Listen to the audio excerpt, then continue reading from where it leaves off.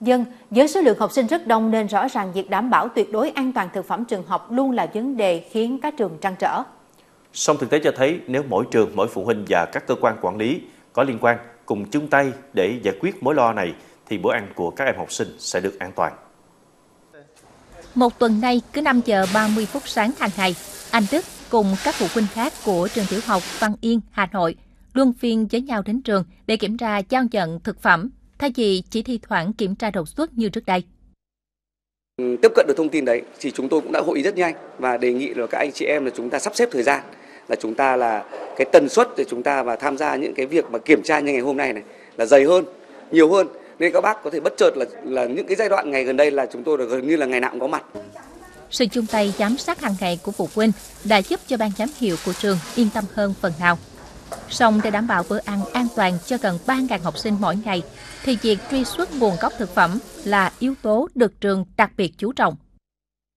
Kiểm tra xem là ờ, nhãn hàng, tem mác, định lượng rồi khẩu phần ăn của học sinh. Đấy là cái khâu ờ, cái bước thứ nhất, bước thứ hai trong cái quá trình sơ chế thì nhà trường cũng phải thường xuyên có người giám sát, đặc biệt là bộ phận y tế của nhà trường lúc này phải uh, sát sao.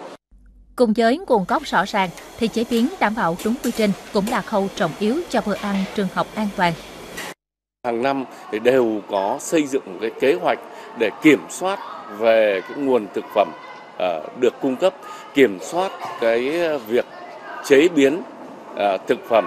và kiểm soát cái quá trình ăn uống của học sinh ở trong nhà trường Bên cạnh đó, việc kiểm tra giám sát của các đơn vị quản lý có liên quan đến an toàn thực phẩm trong trường học cũng được tăng cường hơn. Qua đó không chỉ giúp phát hiện, chấn chỉnh kịp thời sai sót của nhà trường, mà còn của cả các đơn vị cung ứng thực phẩm. Theo báo cáo của Sở Giáo dục Đào tạo Bà Rịa Vũng Tàu, 100% các trường bán trú trên địa bàn tỉnh đều có tủ lạnh lưu mẫu thức ăn. 100% cán bộ nhân viên cấp dưỡng đảm bảo mọi quy định về vệ sinh cá nhân, bảo hộ lao động. Dù chưa xảy ra vụ ngộ độc thực phẩm nghiêm trọng nào trong trường học, song Sở Giáo dục Đào tạo vẫn luôn chỉ đạo tất cả các trường có tổ chức bán trú không chủ quan lơ là về an toàn thực phẩm.